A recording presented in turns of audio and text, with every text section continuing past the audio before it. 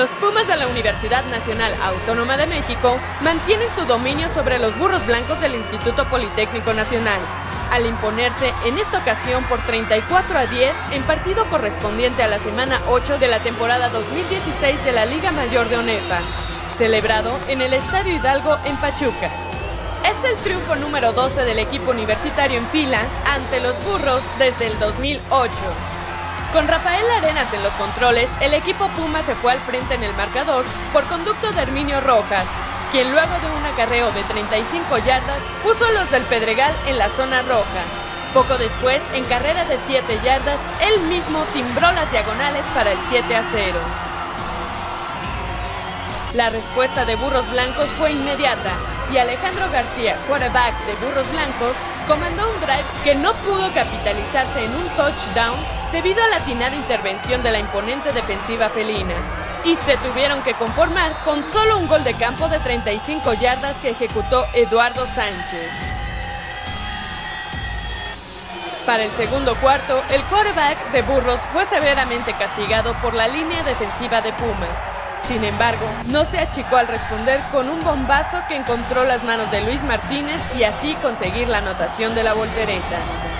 Con menos de un minuto para ir al descanso, Arenas comandó un drive que resultó en 7 puntos más para el equipo que dirige el head coach Otto Becerril, luego del pase de anotación de 5 yardas con Andrés Salgado para recuperar la ventaja.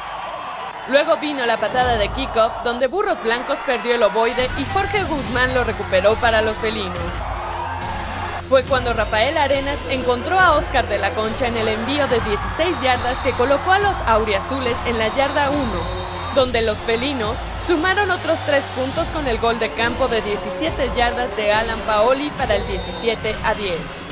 En el complemento, el desarrollo del partido no cambió. Burros Blancos intentó llegar a las diagonales enemigas, pero la defensiva Puma se lo evitó una y otra vez Daniel de Juan Bels tomó los controles por Pumas y de inmediato se hizo presente en el marcador con directa de 7 yardas para el 24-10. Poco después encontró en las diagonales a Joseph Navarro con envío de 3 yardas para el 31 a 10.